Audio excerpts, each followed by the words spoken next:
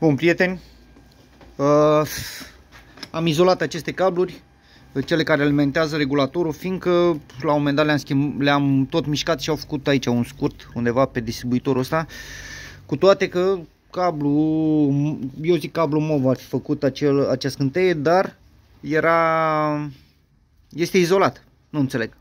În fine, și am luat decizia să-l izolez complet, le-am pus pe ambele cabluri și le-am izolat cu uh, bandă izoler. Am pornit motorul, îmi cer scuze, nu l-am uh, n-am filmat pornirea, a pornit oarecum ușor.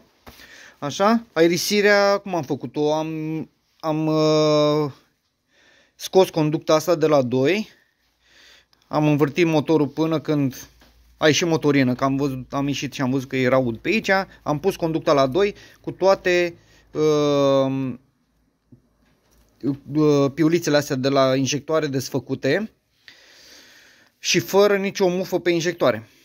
Am pus uh, contactul, am uh, învârtit la demaror până când am văzut că s-au uh, udat toate injectoarele, n-am văzut presiune să țâșnească în sus, cu toate că la 1400 de bar zic eu că chiar și cu toate patru ar trebui să țâșnească, neavând uh, injectoarele conectate. Deci v-am zis, injectoarele erau neconectate, niciunul nu avea mufa pe ele. Apoi am constatat că doar 1, 2 și 3 aveau uh, motorină, 4 nu. Am uh, strâns cele 3 uh, piulițe, da?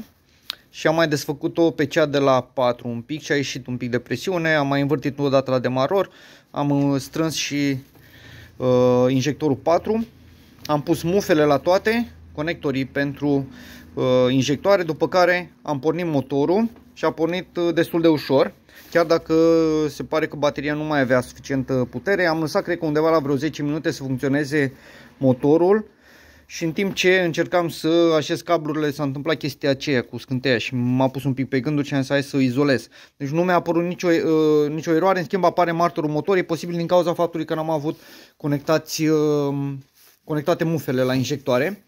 Așadar, o să punem contactul și o să pun testerul să șterg erorile, să vedem ce eroare apare. Haideți să... Ok. Punem în cont contactul, nu calc nicio pedală, da? Uh, până se cuplează. Ok, haideți să vedem pe calculator ce eroare ne dă.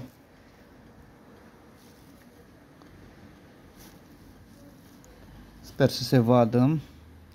O să fac din nou conectarea la laptop a dispozitivului, că s-ar putea să fie deconectat.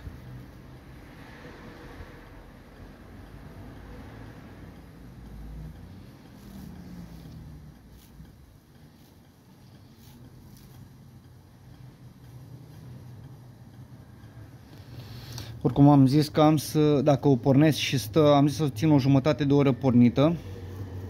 Ia să vedem, deci, cilindru 1, 3, 4 și 2. Da? 27, 28, 29 și 26. Deci DF 26, 27, 28, 29 reprezintă alimentarea injectoarelor, da? Dacă o să vă apară vreodată erorile astea, să știți că unul din firele de alimentare ale injectoarelor este întrerupt și atunci trebuie să verificați uh, continuitatea firelor ca să rezolvați problema. Deci asta nu ar fi o problemă gravă, puteți să o rezolvați singuri. Înlocuiți firul care nu are continuitate cu modul diodă a um, multimetrului, da? Bun, haideți să ștergem erorile.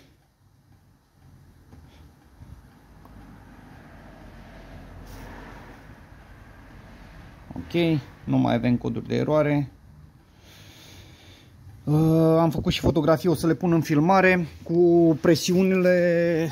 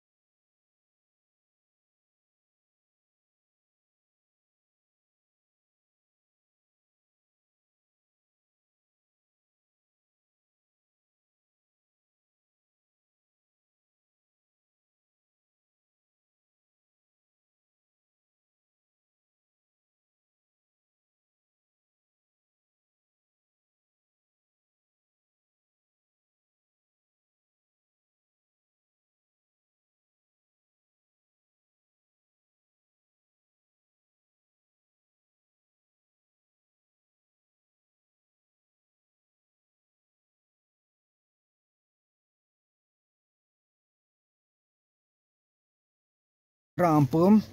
Îmi pare rău, dar nu am cum să compar cu uh, presiunile dinainte de a pornit direct cu eroare. Injection fault. Iată. Se pare că problema nu a dispărut. Deci am înlocuit uh, senzorul și din păcate aceeași problemă. Injection fault, stop. Da, o să vedem ce mai putem să facem, o să verific instalația electrică, fiindcă undeva pe acolo trebuie să fie vreo problemă. Și o să încerc să o rezolv.